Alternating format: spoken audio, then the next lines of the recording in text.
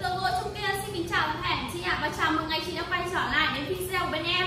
Chúc anh chị một ngày mới vui vẻ tràn đầy năng lượng. Và trong video ngày hôm nay em gái mới hoàn thiện xong một siêu phẩm, một tác phẩm một chú mãnh hổ vị chúa và rừng xanh chế tác trên chất liệu là gỗ lưu tháo vàng. Trước khi đi sâu tác phẩm em gái xin thông báo lại địa chỉ như cơ sở bên em ạ. Cơ sở bên này nằm trên đường quốc lộ 38 làng nghề mộng nổi tiếng đông giao lương đền cẩm giàng hải dương với số hotline quen thuộc 0944 812 986 0822 338 345 Anh chị ưng ý thì cùng sở những tác phẩm bên em anh chị nhé Và trước tiên đi xong tác phẩm em gái xin thông báo kích thước, cũng như là giá cả để chị nhà mình có thể cân đối không gian và tài chính bên mình. Kích thước là cao là 69 ngang một m 46 và chiều sâu là 65 Và giá hiện tại em gái đang sau lưu với giá là 23 triệu đồng, bên em bao gồm phí vận chuyển.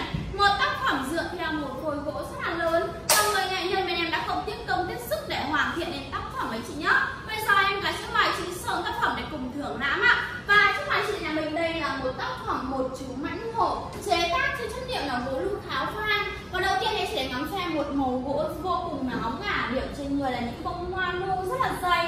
Hay là những điểm nu tia thì vô cùng là giả đanh. Và với người nghệ nhân bên em, với bàn tay tài hoa, đã tạo hình nên hay là thổi hồn vào diện mặt của chú mãnh hổ. Từ những phần vạch vai thì bên em cũng châm tỉa vô làm vô cùng là sạch sẽ hay là những cái ánh mắt hàm rất là sâu với chị nhá. Đấy, diện mặt thì người nghệ nhân bên em đã thổi hồn hay là những cái bộ ờ, lông mặt này thì ngắm cho em là tỉa tóc rất là quanh bong và sạch sẽ.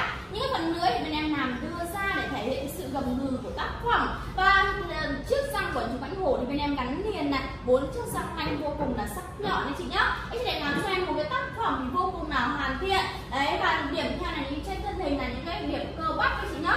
Vô cùng là khỏe khoắn với những bộ móng vuốt thì vô cùng là sắc nhọn cho em gái. Một một chú mãnh hổ dựa theo một khối gốc lung kháo vàng rất là lớn. Và chính biết là gỗ lung kháo vàng thì rất là cứng và rắn, rất là khó chế tác mà người nghệ nhân bên em đã chế tác cũng như là hoàn thiện nên một chú mãnh hổ rất là đẹp. Và chị nhà mình quan tâm đến tác phẩm này thì hãy nhanh tay liên hệ trực tiếp bên em qua số hotline 0944 812 986 0822 338 145 với những tác phẩm chú mãnh hổ là tác phẩm phong thủy, anh chị có thể trưng bày trưng bày trong không gian phòng khách nhà mình. Hoặc có thể để trong mà chị đang làm việc hoặc có thể làm những cái món quà tặng những người bạn thân, những người sếp của mình để trừ tài chấn chạy, mang lại vượng thì tốt đấy chị nhé bên em cũng xin cảm ơn tất cả chị đã đồng hành video cùng bên em. Chúc chị một ngày mới vui vẻ và tràn đầy năng lượng ạ.